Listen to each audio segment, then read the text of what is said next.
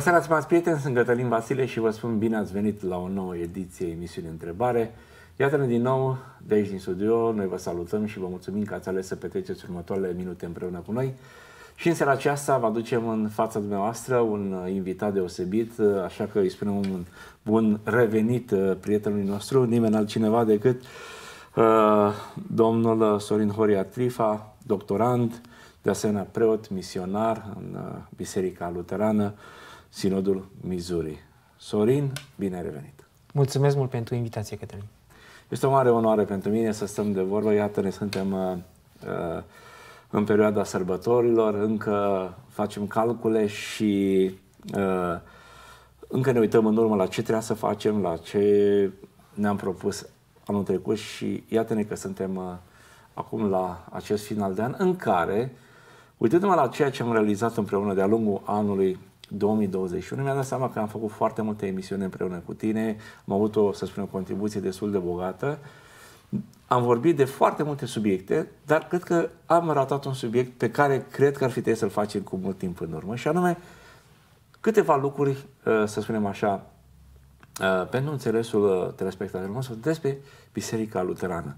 Dacă vom ieși pe stradă în, în zilele acestea și vom întreba ce știu oamenii despre Biserica Luterană sau ce, cine este sau ce reprezintă Biserica Luterană în lume, în România, în Europa, care este istoria, cine a fost fondatorul, câteva lucruri, care sunt poate cele mai importante elemente, care sunt diferențele între evanghelici și uh, uh, Biserica Luterană. Pentru că întotdeauna am vorbit despre tine uh, ca preot misionar, ca uh, ca doctorand, ca un om care slujește pe Dumnezeu în Biserica Luterană uh, Sinodul Missouri, dar niciodată n-am abordat problema aceasta. Așa că e o datorie, să spunem așa, morală a mea și pentru cei care uh, te urmărește, vor emisiuni, uh, urmări și în alte emisiuni, să spun câteva lucruri și despre biserica pe care tu o slujești, câteva lucruri despre origine, uh, câteva uh, lucruri explicative, astfel încât să înțelegem uh, rolul pe care această mișcare, uh, atunci când a început, a avut în tot ce înseamnă istoria creștinismului până în zilele noastre. Așa că am numit în mod generic tema din seara aceasta Biserica Luterană între bare. Așa că o să primești tot felul de întrebări e, e, provocatoare la care te rog să îndrăznesc să răspund așa cum crezi tu, astfel încât să fie cât mai ușor de înțeles și să uh, uh, fie pe, să spunem, uh, pentru, pe binele Evangheliei, să spunem așa, pentru lumea aceasta. Ce părere ai? Cum ți se pare? Uh, cred că este foarte util, într-adevăr, ca oamenii, cel puțin în România, să ajungă să cunoască în sfârșit ceea ce, cine este, ce este, ce crede, cum trăiește credința o biserică luterană, mai ales că în scurt timp de acum înainte vom împlini, vom împlini 500 de ani de la momentul în care Biserica Luterană și-a început existența pe actualul teritoriu al României, mai precis în Transilvania, Uh, știm deja faptul că undeva în jurul anului 1540 uh, uh, orașul Brașov, de exemplu, era deja un oraș luteran sub misiunea pe care desfășurat-o acolo umanistul Sas Johannes Honterus. Din păcate, deși Biserica Luterană este o prezență istorică în România, și eu personal, ca și tine, am constatat faptul că românii cunosc prea puține lucruri despre această biserică, se cunosc suficiente lucruri, aș putea să zic, despre viața și activitatea reformatorului Martin Luther, despre care cu toții știm că este într-un fel, să spunem așa, părintele Bisericii Luterane sau fondatorul Bisericii Luterane, dar și aceste, uh, cu, aceste sursele pentru această cunoaștere a vieții și activității reformatorului Martin Luther de cele mai multe ori sau într-o proporție covârșitoare nu sunt surse luterane, ci sunt surse uh, evanghelice provenite de la teologi care uh, țin de Biserica Baptistă, de Bisericile Penticostale, Adventiste de ziua șaptea, creștine după Evanghelie și așa mai departe, însă prea puțini sunt uh, luterani. Biserica luterană este produsul, să spunem așa, principal a ceea ce numim noi reforma luterană din secolul al XVI-lea, o reformă despre care deja știm că a debutat atunci când Martin Luther și-a uh, pus în cuie, așa cum se vede și în fotografia uh, de pe fondul emisiunii noastre, și-a bătut în cuie uh, tezele pe ușa bisericii tuturor sfinților din Wittenberg la uh, data de 31 octombrie 1517. Acum sunt uh, unii teologi care consideră că 31 octombrie 1517 ar fi momentul de naștere al uh, Bisericii Luterane. Eu personal, ca teolog luteran, nu merg pe această direcție, pentru că uh, sunt uh, ferm convins că Biserica Luterană, nu putem să vorbim despre nașterea de, uh, Bisericii Luterane înainte ca Martin Luther să fi fost exclus, uh, să fi fost excomunicat din Biserica Romano-Catolică, lucru care s-a împlinit uh, la, în primele zile ale uh, lunii ianuarie în anul 1521. Deci, iată, uh, în curând vom aniversa 501 ani de la acest eveniment.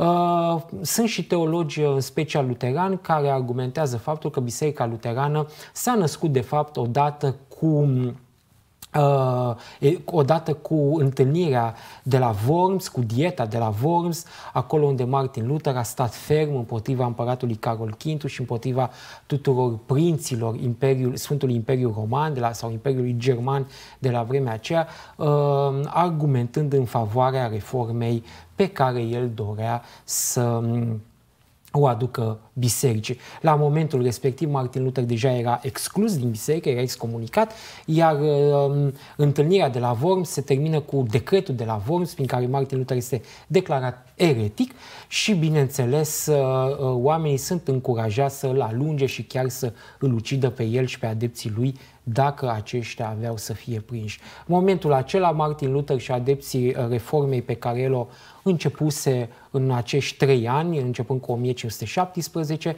ajung să fie practic izolați de biserică și în felul acesta ei își formează propria lor biserică, o biserică care inițial a purtat numele de Biserica Evanghelică, pentru că așa și-a dorit Martin Luther, să arate că este o biserică fundamentată pe scriptură, însă încă din timpul vieții lui, uh, pornind de la lupta pe care uh, Biserica Romano-Catolică a dus-o împotriva Bisericii Evanghelice, uh, Martin Luther și Biserica aceasta evanghelică a început să poartă numele de Biserica Luterană. De exemplu, încă, încă de la Leipzig, de la discuția care a avut loc între Martin Luther și Johannes, Johannes von Eck, la Leipzig, Johannes von Eck um, uh, folosește termenul de luterani ca să identifice pe cei care urmează reforma lui Martin Luther. Iar apoi, odată cu trecerea la Domnul al lui Martin Luther, devine din ce în ce mai comun termenul de biserică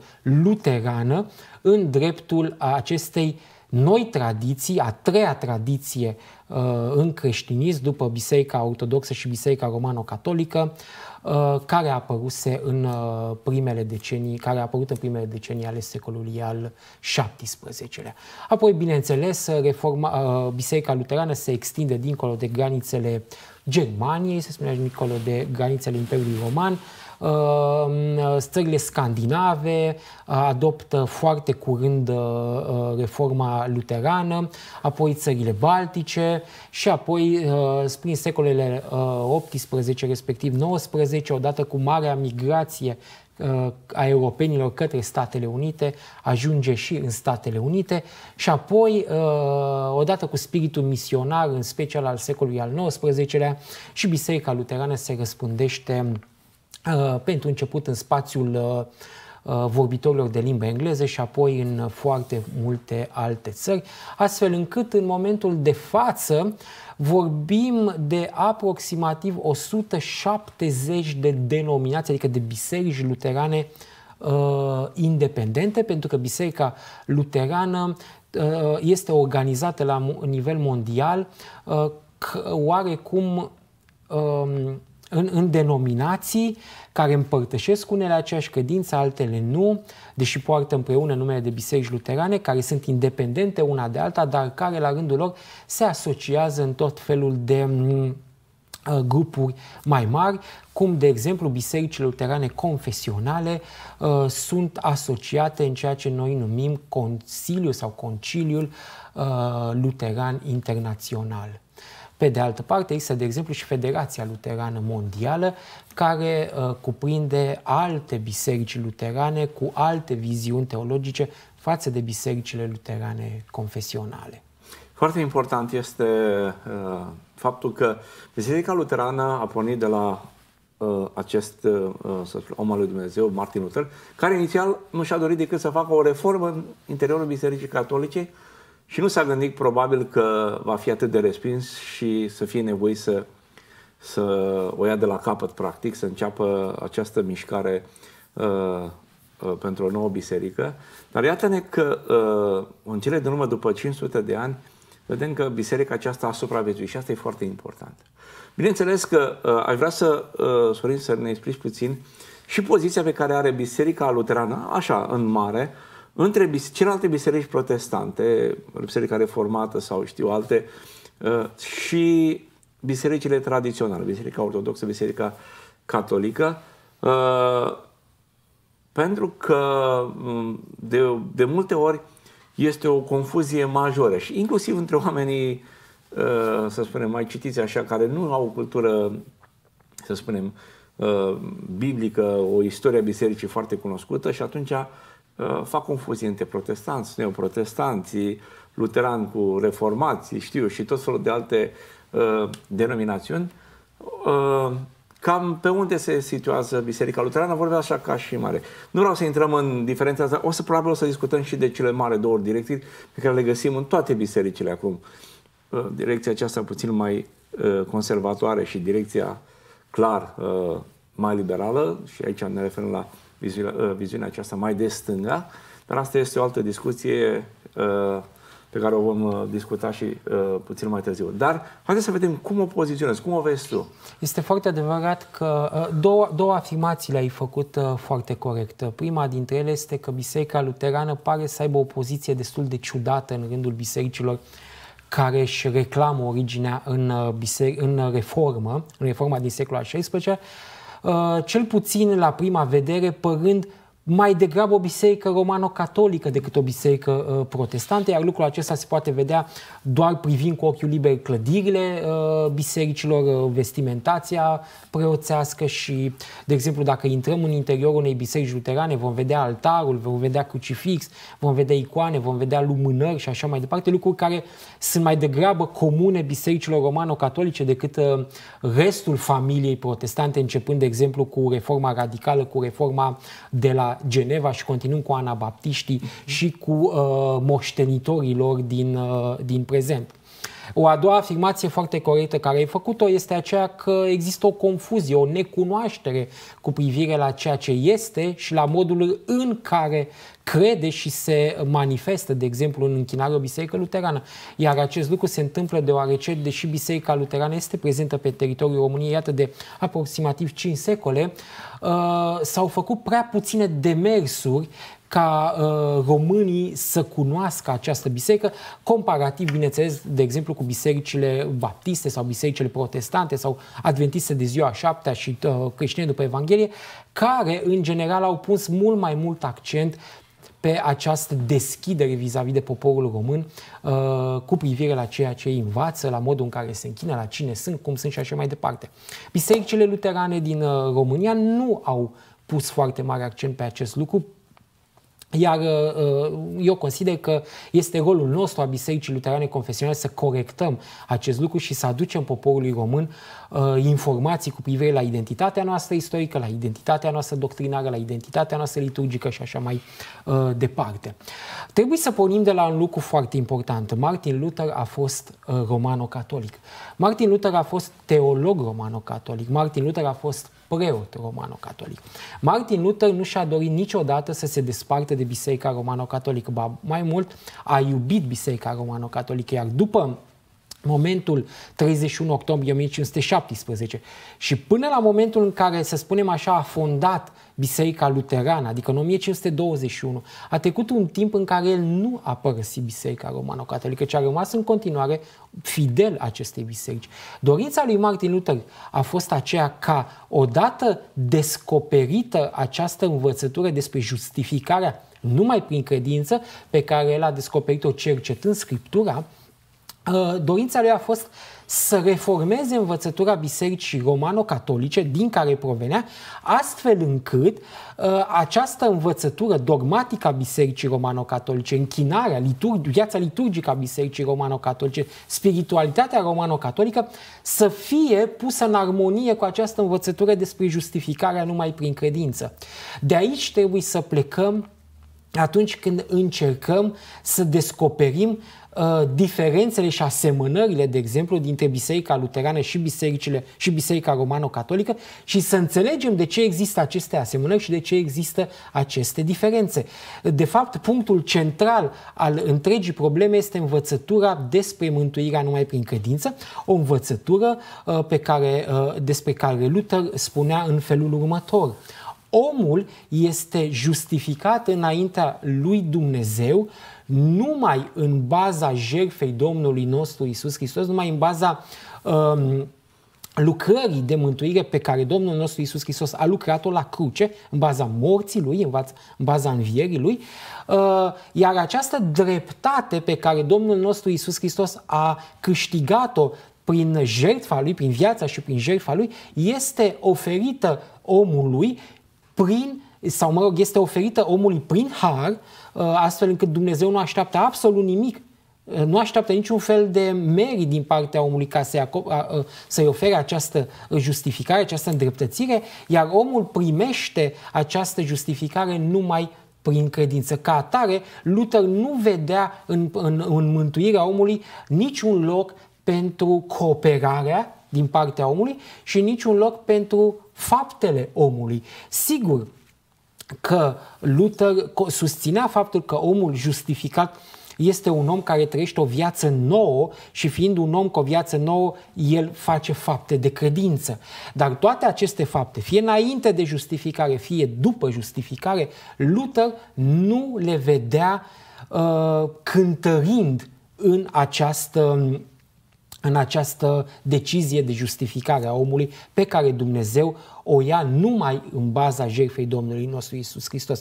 Ca atare, pornind de la acest concept că omul nu este justificat în baza meritelor personale, oricare ar fi acestea, ci este justificat numai prin credința pe care omul are în Domnul nostru Isus Hristos, în promisiunea Evangheliei care ne vorbește despre ceea ce Domnul nostru Isus Hristos a făcut pentru mântuirea noastră, Luther a căutat să reformeze atât teologia cât și viața liturgică a bisericii medievale, astfel încât să să nu se contrazică cu această învățătură cu privire la justificarea numai prin credință. Și aici apar toate deosebirile care, pe care le vedem între Biserica Luterană și Biserica Romano-Catolică. Asemănările constau în faptul că nu toată învățătura și nu toate practicile liturgice romano-catolice au fost în mod necesar împotriva sau în opoziție cu această învățătură despre uh, justificarea numai prin credință.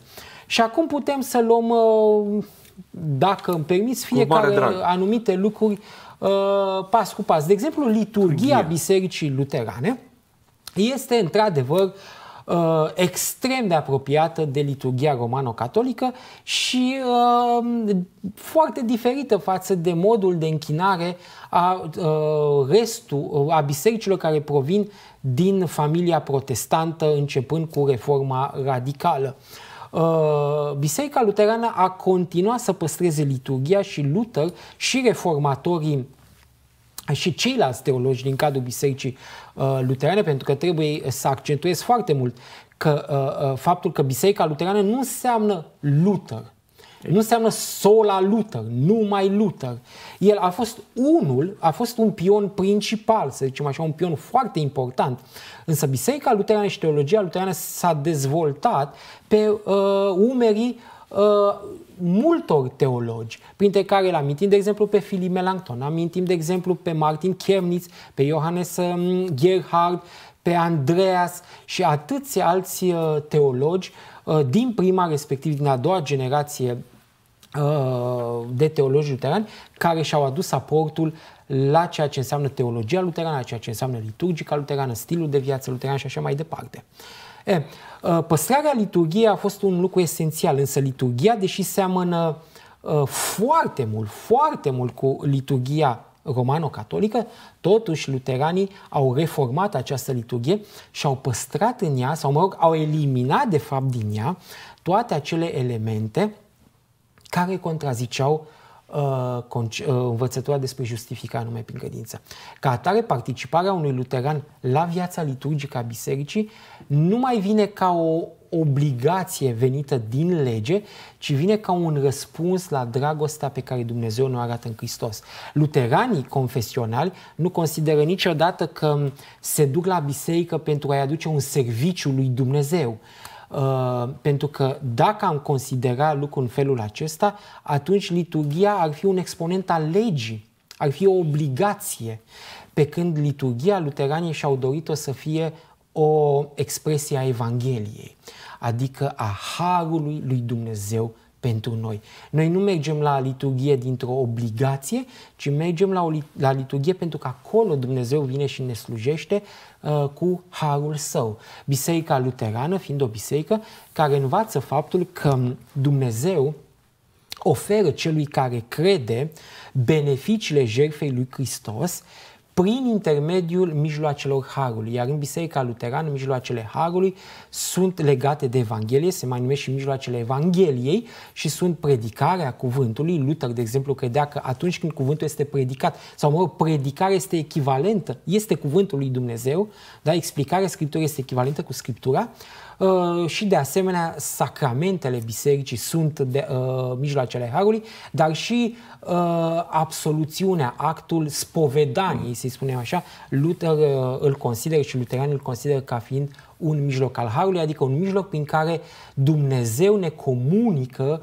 uh, iertarea păcatelor noastre, uh, tuturor acelora care, bineînțeles, credem că uh, crede mesajul Evangheliei Domnului nostru Isus Hristos. Iar liturgia Bisericii Luterane gravitează în jurul acestor mijloace ale Harului, astfel încât mesajul uh, general al liturgiei este despre iertarea păcatelor noastre. Iar centrul de greutate al liturgiei luterane nu este omul, nu este, liturgia nu este o jertfă pe care omul o aduce lui Dumnezeu, pentru că a, a, acest lucru ar pune accentul pe faptele omului, am putea să ajungem să spunem că omul este mântuit tocmai pentru că vine la biserică, tocmai pentru că face anumite rugăciuni, tocmai pentru că participă Uh, nu știu, la cântarea imnurilor și așa mai departe, lucru care ar fi complet greșit, ci omul uh, vine la biserică ca să primească din partea lui Dumnezeu uh, aceste daruri, acest dar al iertării păcatelor pe care Dumnezeu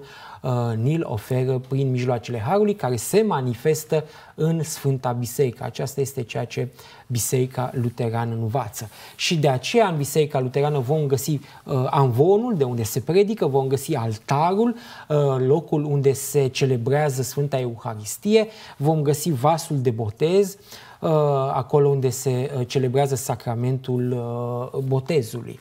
Dacă tot ai vorbit despre botez, hai să vorbim puțin și despre ce înseamnă uh, botezul copilor uh, în Biserica Luterană, pentru că știu că se practică și uh, cu siguranță există o explicație uh, biblică, un suport. Știți, știți de ce? Pentru că, Sorin, trebuie să recunoaștem aici lucrurile sunt împărțite. Vedem că acea lucru se practică în Biserica Ortodoxă, Biserica Catolică, deci o mare majoritate a acestei lumi practică uh, uh, botezul copiilor mici. Și haideți să vedem uh, cam care ar fi, să spunem, uh, explicația uh, Bisericii Luterane atunci când uh, practică această, uh, acest botez. Biserica Luterană, uh, asemenea uh, Bisericii Romano-Catolice, dar și Bisericile Ortodoxe, crede, cu, uh, crede și mărturisește faptul că atunci când uh, primii noștri părinți, Adam și Eva, au încălcat porunca lui Dumnezeu și au comis primul lor păcat, uh, uh, întreaga omenire a fost trasă după ei în păcat, iar acest păcat poartă numele de păcatul strămoșesc sau păcatul originar. Acest păcat uh, se transmite uh, fiecărui urmaș al lui Adam. Fiecare om care se naște pe cale naturală, așa cum spune Scriptura, de exemplu, cum ne spune uh, Sfântul Profet David, se naște în păcat. Se naște în păcat datorită acestui păcat pe care uh, protopărinții noștri l-au săvârșit, acestui păcat strămoșesc. Iar păcatul strămoșesc este în sinea lui uh, atât o degradare a naturii umane, Uh, este de asemenea o înclinație a naturii umane spre păcat, dar Biserica Luterană învață că este și o vină, adică omul se naște practic în robia satanei. Uh, Biserica Luterană nu vorbește niciodată despre un spațiu al neutralității, ca și când există un loc al lui Dumnezeu, un loc al lui satana, iar oamenii vin pe lume într-un spațiu neutru aflat între cei doi poli și pe urmă, de-a lungul vieților, pe măsură ce ei devin conștienți de sine, conștienți de lumea care îi înconjoară, uh, ajung să fie nevoiți să iau o decizie fie pentru Dumnezeu, fie uh, în favoarea diavolului, respingându-l pe Dumnezeu și astfel um, apartenența lor, să zicem așa, se judecă undeva în jurul vârstei de 15, 16, 17 ani, atunci când conștiința lor ajunge la deplină maturitate. Biserica Luterană învață faptul că există doar cei doi poli, Dumnezeu și satana, și că orice om se naște pe cale naturală, el se naște automat în robia satanei, de unde nu poate să iasă sub nicio formă decât dacă este eliberat de către Dumnezeu. Adică omul în robia satanei uh, nu numai că trăiește sub această povară a păcatului, dar el ajunge să fie îndrăgostit și pasionat de păcat, astfel încât uh, prin sine putere nu dorește și nu poate să se despartă de păcat. Copiii noștri se nasc în păcat și născându-se în păcat au nevoie de o eliberare pe care Dumnezeu trebuie să o lucreze în viața lor. Iar sacramentul botezului este o voce a Evangheliei. Noi credem că botezul, luteranii confesionali cred faptul că botezul nu este o lucrare pe care omul o face pentru Dumnezeu. Așa cum, de exemplu, noi auzim foarte des în rândul uh, evanghelicilor uh, faptul că l-am ales pe Hristos. Noi nu credem că omul poate să le aleagă pe Hristos și dacă omul ar alege pe Hristos, atunci am putea, Luther ar spune, de exemplu, că mântuirea ar sta în baza faptelor umane. Deci n-ar mai fi numai prin credință, ci ar fi prin, printr-o faptă. Dar trecem peste această și aici paranteză. știi că sunt disensiuni între evanghelici. Sunt foarte multe disensiuni, știu. nu este o înțelegere unitară. Așa este. Uh, luteranii cred că botezul este o lucrare de eliberare pe care Dumnezeu o lucrează. Prin botez Dumnezeu rupe această putere a robiei păcatului, ne eliberează din păcatul uh, original, ne iartă toate păcatele și ne face copii ai săi, lucru care se întâmplă inclusiv cu pruncii noștri. Sigur că principalul uh, debate uh, sau principala controversă, haideți să spunem, nu e neapărat regenerarea prin botez, deși uh, evanghelici sau mă rog, protestanții post-biserică, post-reforma luterană, neagă regenerarea prin botez. Noi o acceptăm, noi o credem cu Noi tărie. considerăm că este doar un simbol, este o Dar act de... uh, controversa principală legată de botez este că uh, botezul ar, uh, uh, botezul trebuie administrat, sau sacramentul trebuie administrat numai celor care cred. Luther a fost convins de lucrul acesta. Luther spunea în felul următor, un sacrament nu este dependent nici de credința mea ca preot care îl administrez sau ca pastor care îl administrez, nu este dependent nici de credința ta a celui care îl primește. Sacramentul există și are toată puterea pentru că el este instituit de către Domnul nostru Isus Hristos și puterea este dată de către promisiunea Domnului nostru Isus Hristos care este atașată acestui sacrament. Însă beneficiile sacramentului sunt întotdeauna primite numai prin credință. Ca atare, un botez este valid din perspectiva lui Dumnezeu, din perspectiva botezului în sine și dacă este administrat unui necredincios. Însă beneficiile botezului, care constau în iertarea păcatelor, în înfierea uh, ca fiul al lui Dumnezeu, în viața veșnică și așa mai departe, nu sunt date celui botezat decât dacă acesta primește botezul prin credință. Și lucrul acesta îl acceptă și evanghelicii. De aici apare și controversa, că pentru că principala întrebare care se pune este cum cred copiii mici.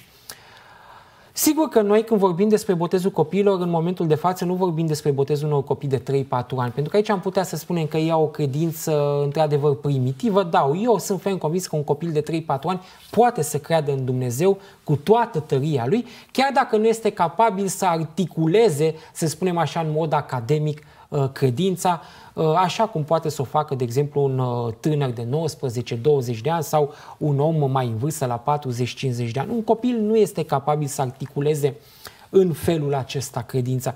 Dar asta nu înseamnă că în inima lui lipsește credința. Problema se pune uh, în dreptul botezului pruncilor. Dacă un prunc, de exemplu, de 7, 8, 9 zile, o săptămână, două, are sau nu are această uh, credință. Dacă asociem, de exemplu, credința de facultatea rațională, atunci sunt foarte multe lucruri de discutat aici, pentru că psihologii și specialiștii vin să spună că un copil uh, atât de mic nu are dezvoltată capacitatea intelectuală astfel încât să asculte uh, credința, să o înțeleagă și apoi să-și o mărturise, să-și o exprime, astfel încât să primească botezul. Noi credem însă că lucrul acesta se întâmplă și noi asociem credința mai degrabă cu inima decât cu uh, rațiunea. Credem că Dumnezeu lucrează în mod tainic prin intermediul cuvântului său, uh, inclusiv la inima copiilor mici, la inima pruncilor. Și aducem uh, foarte des în uh, înaintea oamenilor, exemplu care se întâmplă atunci când, uh, evenimentul care se întâmplă atunci când uh, Sfânta Fecioară Maria, uh, însărcinată cu pruncul Iisus Hristos, merge în vizită la verișoara sa Elisabeta, care era însărcinată în luna a șasea, haide să spunem a șaptea, uh-huh. cu, cu Sfântul Ioan Botezător. Așadar este uh, o întâlnire dintre două femei, ambele însărcinate. Și Evanghelia Sfântului Luca ne spune faptul că uh, Elisabeta mărturisește plină de Duhul Sfânt că atunci când a auzit glasul Mariei, pruncul din, uh, din pântecul ei a tresărit. Uh, sigur că aici nu vorbim despre o mișcare uh, pur întâmplătoare a pruncului în pântecul ei, pentru că nu văd de ce Sfântul Evanghelist Luca ar fi uh, fost uh, tentat, să zicem așa, să pună în Evanghelia sa acest pasaj, dacă el nu avea o legătură concretă cu credința și cu Mântuitorul, căci foarte frumos spune Sfântul uh, uh, Ioan, Sfântul Apostol și Evanghelist Ioan, că toate aceste lucruri pe care le avem în Scriptură au fost scrise ca voi să credeți în Isus Hristos și prin această credință să primiți viața veșnică. Deci noi credem faptul că Ioan Botezătorul, uh, că atunci când Sfânta Fecioară Maria a, a, a, a vorbit acele cuvinte de întâmpinare, acele cuvinte au fost de fapt un mesaj al Evangheliei Domnului nostru Isus Hristos, o Evanghelie care a mișcat inimioara, sufletelul acelui prunc aflat în, în pântecul uh, Sfintei uh, Elisabeta și ea a crezut, el a crezut acest lucru și de aceea a tresărit, a fost o tresărire a credinței. Apoi Evanghelia ne prezintă alte momente în care Domnul nostru Isus Hristos interacționează cu copii și spune lăsați copiii să vină la mine. Apoi sunt momente în care se spune că a lor este împărăția cerurilor. Dacă nu veți avea o credință ca a lor, nu veți intra în împărăția cerurilor. Deci iată că însuși Mântuitorul nostru vine și vorbește despre faptul că acești copii uh, au credință, au o formă de credință suficientă astfel încât ei să ajungă în împărăția cerurilor. Pentru că știm că fără credință nimeni nu va intra vreodată în împărăția cerurilor. Și de asemenea citim despre prunci inclusiv despre Sfântul Ioan Botezător, că tot am amintit despre mhm. uh, dânsul, ni se spune că va fi umplut de Duhul Sfânt încă din pântecul mamei sale. Iar unde este Duhul Sfânt este și credință, pentru că acest lucru înseamnă de fapt umplerea cu Duhul Sfânt. Și evanghelicii uh, moderni, când vorbesc de faptul că cineva este umplut de Duhul Sfânt, acea reprezintă o manifestare a credinței. Deci iată că Biserica Luterană deși nu are niște explicații foarte științifice, învață că pruncii sunt capabili de credință chiar și în momentul în care sunt în pântecul mamelor. Și din acest motiv nu găsim uh, de ce nu ar trebui să le administrăm botezul, mai ales că noi credem că botezul spală păcatele, că botezul regenerează omul, că botezul eliberează omul din robia satanei și îl pune în biserica lui Hristos și în familia lui Hristos ca frate al lui Hristos și ca fi și fiice ale lui Dumnezeu. Slavă Domnului, Sorin, mă bucur că putem discuta despre uh, ceea ce crede uh, credința uh, Bisericii Luterane. Noi am mai amintit razant așa și n-am niciodată o discuție directă asupra acestor teme. Aș vrea să continuăm și cred că lista cu întrebări pe care o am aici ar necesita o a doua emisiune. Aș vrea să te mai întreb totuși în, în ediția de astăzi despre împărtășeană, despre Euharistie, pentru că este un alt sacrament foarte important uh, atât în, în toate bisericile, dar cu, uh, cu mai mult în Biserica Luterană, așa că haideți să vorbim puțin care sunt, uh, comparativ, ce crede Biserica Luterană, uh, cam uh, cum se practică, care este rolul. Și, bineînțeles, uh, îți propun ca acest subiect să nu lăsăm neat, adică să nu trecem peste el foarte, foarte uh, așa în fugă, și să mai facem o ediție în care să vorbim despre icoane, vorbim despre sfinți, da? în care să vorbim despre uh, rugăciunea pentru cei uh, trecut la cele veșnice, sunt mai multe. Și apoi vreau să vorbim în a doua ediție și puțin despre aspectul misionar. Puțin Sigur. istorică, cam cât de mult a fost uh, implicată biserica. Și știm, vă dau doar un singur exemplu pe care românii cred că toți îl știu. Martin Luther.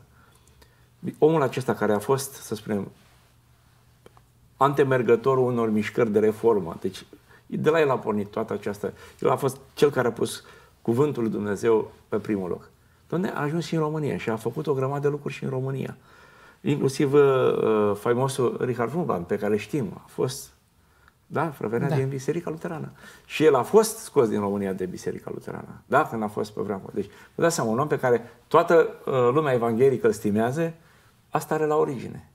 Și sunt multe lucruri pe care unele le știm și în istorie. Așa că hai să vorbim puțin și despre Euharistie și apoi în a doua ediție a acestei uh, uh, emisiuni, uh, partea a doua, vom discuta despre celelalte subiecte. Euharistia este un subiect extrem de vast, Cătălin. Trebuie să uh, admitem cu toții faptul că nu există nici un fel de alt subiect uh, care să fie atins un nivel atât atât de înalt de controversă în sânul bisericii creștine, părerea mea, cum este subiectul Euharistiei. Te, Euharist... te opresc puțin. Aduți aminte anul trecut, în primăvară, și discuția am avut numai în sânul bisericilor evanghelice, de câte ori am discutat noi aici, cum se dă cina, așa cum îi spunem noi, împărtășania. Se poate da online, se poate lua acasă. Uh, se poate lua cu biserica, se poate lua cu familia. Cine e uh, apt să facă lucrul acesta? Discuția nu s-a terminat nici acum. Deși au fost date niște direcții, fiecare până la urmă a făcut cum a vrut, pe propria lui răspundere înainte la Dumnezeu, dar încă nu există o înțelegere nici la nivelul unei singure confesiuni. Dar mi să mai spun da. în ce privește bisericile uh, la ca un tot. Dacă schizma, de exemplu, uh, de la 1054 a avut această, a avut ca obiect uh, învățătura despre procederea Duhului Sfânt sau filiorve, așa cum ea este cunoscută teologic, despărțirea sau schizmele din inter, schizma din interiorul reformei din secolul al XVI a fost indiscutabil una fundamentată pe Euharistie. În 1529 uh, a avut loc o discuție, un colorviu de la Marburg între uh, reformatorii de la Wittenberg și reformatorii din Elveția, în speță de la Zurich, în frunte cu Zwingli, Uh, iar acolo uh, marea disensiune, de fapt, am putea spune, unicul punct în care nu s-au înțeles a fost învățătura despre Sfânta Euharistie, despre cina Domnului, dar mai precis despre prezența lui Hristos în Euharistie. Și plecând de aici, uh, la, la finalul acestui colocviu, cele două capete ale reformei, cea de la Wittenberg și cea din Elveția, s-au despărțit iremediabil. Și mai apoi despărțirea tot continuat, uh, în special uh, reforma elvețiană, uh, fragmentându-se în multe alte subdiviziuni. Biserica luterană învață faptul că Domnul nostru Isus Hristos este prezent cu trupul și cu sângele său în Sfânta Euharistie. Iar această prezență nu este dată de nimic altceva decât de cuvintele pe care însuși Domnul nostru Isus Hristos le spune atunci când uh, instituie acest sacrament, în noaptea în care a fost vândut, le spune Sfântul Apostol Paul în prima sa scrisoare către Corinteni, Domnul nostru Isus Hristos a luat o pâine și după ce a frânt-o a dat-o ucenicilor săi spunând luați, mâncați, acesta este trupul meu. La fel, după cine a luat potirul, pe care l-a binecuvântat și dându-l ucenicilor săi a zis, beți din acesta toți, acesta este sângele meu, acesta este sângele Noului Testament care se varsă pentru iertarea păcatelor voastre. Pe baza acestor cuvinte pe care Domnul nostru Hristos însuși le spune, uh, luteranii înțeleg ceea ce numim noi prezența reală a trupului și sângelui Domnului nostru Isus Hristos în sacrament, în sacramentul Euharistiei. Sigur că la colocviu de la Marburg, Uh, Zwingli a susținut faptul că acest cuvânt estin, este, ar trebui înțeles într-un sens simbolic, uh, echivalentul cuvântului acesta simbolizează trupul meu. Însă Luther și luteranii nu au fost uh, de acord cu această interpretare simbolică a cuvântului estin și, și Luther și luteranii au considerat că aceste cuvinte trebuie interpretate în sensul lor literar, pentru că nu există niciun fel de motivație să fie interpretate altfel.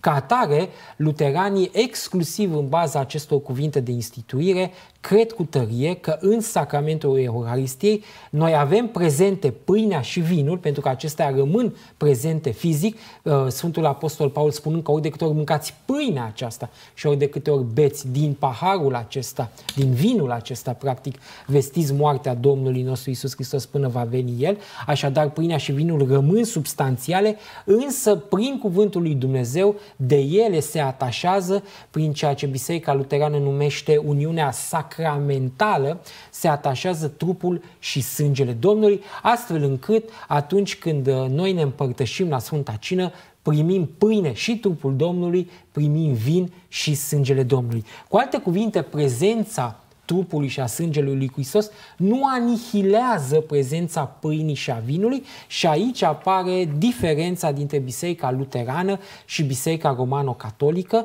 care consideră faptul că pâinea și vinul se transformă la nivel de substanță în trupul și sângele Domnului nostru Isus Hristos, doar accidentul pâinii și al vinului, adică forma, gustul, Uh, știu și eu textura rămânând din pâine și vin, însă substanța reală nu mai este substanța pâinii și substanța reală nu mai este substanța uh, vinului, ci uh, numai sângele lui Hristos este prezent sub acest accident al vinului, numai trupul lui Hristos este prezent sub acest accident al pâinii. Deși biserica, bisericile ortodoxe nu au acest concept de transubstanțiere, în fond și ele învață faptul că prezența lui Hristos, prezența trupului lui Hristos anihilează prezența pâinii, respectiv prezența sângelui lui Hristos anihilează prezența vinului. Biserica Luterană Confesională nu învață transubstanțierea, respinge transubstanțierea. Luther spunea și uh, ceilalți teologi luterani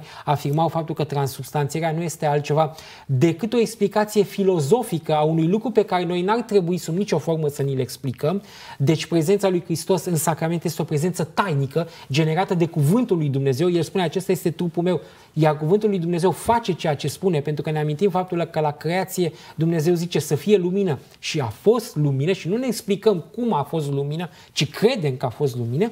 Așa și când Iisus Hristos spune acesta este trupul meu, noi credem că este trupul lui, fără să ne explicăm cum este uh, posibil acest lucru.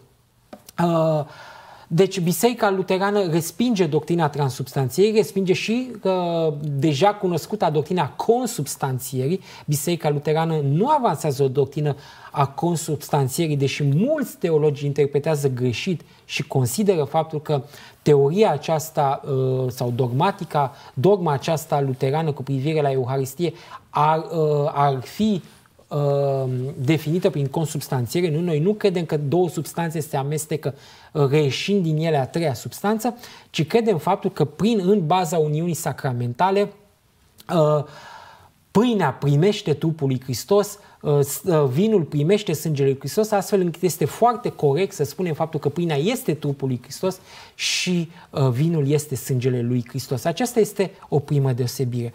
Între Biserica Luterană și bisericile romano-catolice, dar și o deosebire între bisericile luterane și restul bisericilor evanghelice care au adoptat poziția lui Zwingli, considerând că sacramentul Euharistiei vorbește doar despre o amintire a morții lui Hristos, prezența lui Hristos fiind mai degrabă una simbolică sau una de natură spirituală, să spunem așa, uh, dar în niciun caz una de natură uh, fizică. Luteranii mențin prezența reală a Domnului nostru Isus Hristos, ceea ce îi pune să fie mai aproape de transubstanțiere. Aici trebuie să evidențiez un lucru. De exemplu, Martin Luther a avut o controversă avansată cu sacramentaliști sau sacramentalienii, mm-hmm. nu știu cum să spun în limba română, uh, în speță cu adepții lui Zwingli. Uh, controversa aceasta a, a generat mai multe cărți din partea lui Luther, uh, formidabile multe dintre ele din perspectiva mea,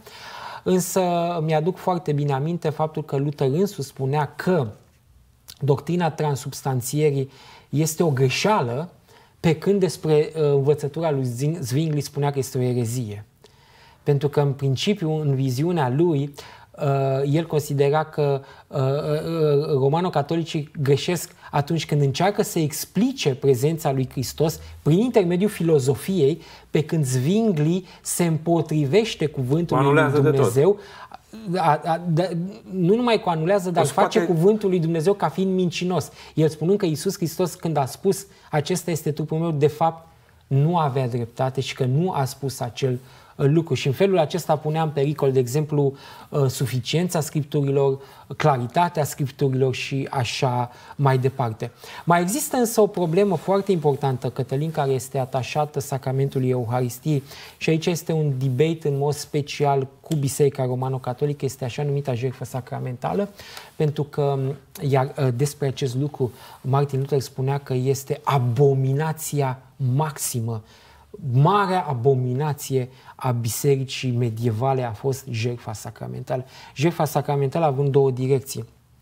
În primul rând, faptul că Domnul Isus Hristos este rejerfit de către preot în timpul celebrării liturgice în mod nesângeros, de aceea preotul rupea pâinea și spunea uh, și atunci uh, se spune că Hristos era rejertfit pentru iertarea păcatelor. Deci iertarea păcatelor pe care sacramentul Euharistiei în perspectiva romano-catolică uh, îl oferă, iertarea păcatelor pe care sacramentul o oferă, este adusă în baza unei jertfe nesângeroase a Domnului nostru Isus Hristos, lucru pe care luteranii l-au considerat abominabil, pentru că Luther considera și teologii luterani considerau faptul că Isus Hristos a jertfit odată pentru totdeauna la Golgota și toată iertarea de păcate pe care o lucrează uh, sacramentul Euharistiei, o lucrează din perspectiva acestei jerfe deja făcute, putem să numim sacramentul Euharistiei o reactualizare în sens anamnetic, adică de amintire. În momentul în care noi participăm la sacramentul Euharistiei, noi ne amintim de jertfa lui Isus Hristos, iar jertfa aceasta devine actuală pentru noi nu printr-o rejerfire uh, fizică, să spunem, nu printr-o rejerfire prezentă, ci prin simplu fapt că ne readucem uh, în, în minte acel lucru și lucrul acela lucrează în noi iertarea păcatelor. Iar a doua latură a, a acestei jertfe sacramentale implica faptul că Biserica Luterană, Biserica Romano-Catolică învăța faptul că Uh, participarea omului la sacramentul Euharistiei era o jertfă pe care biserica, omul și biserica i-o aducea uh, lui uh, Dumnezeu. Cu alte cuvinte, biserica romano-catolică, prin această învățătură, transforma sacramentul Euharistiei într-o faptă bună pe care omul o făcea. Adică venirea omului la uh, împărtășanie era o faptă bună pe care omul o făcea în vederea mântuirii lui. Iar Dumnezeu privea la această faptă bună a omului, primea această jertfă din partea omului și îl justifica pe om. Iar Luther și Biserica Luterană și teologii luterane au considerat că aceasta nu este altceva decât o expunere a falsei învățături despre mântuirea prin fapte. Uh, sigur, de exemplu, Martin Chemnitz în tratatul său cu privire la Conciliul Tridentin, examinarea Conciliului Tridentin, s-ar traduce în limba română, spune acolo că am putea să numim uh, Euharistia inclusiv o jertfă dacă uh, de exemplu, cu privire la Hristos, o numim o jertfă, o, o rememorare a jertfei Domnului nostru Isus Hristos, am putea să o numim, de exemplu, și o jertfă din partea omului, pentru că, de fapt, cuvântul uh, Euharistie de aici vine, dacă uh, privim la mulțumirea pe care omul o aduce lui Dumnezeu odată cu participarea lui la sacramentul Euharistiei, dar în niciun caz nu putem să vorbim despre o jertfă nesângeroasă și în niciun caz nu putem să vorbim despre participarea la Euharistie ca o faptă favorabilă omului în baza căreia să merite uh, să merite mântuirea. Nici sacramentul botezului cu care am, despre care am vorbit anterior și nici sacramentul Euharistiei nu sunt fapte pe care omul le face.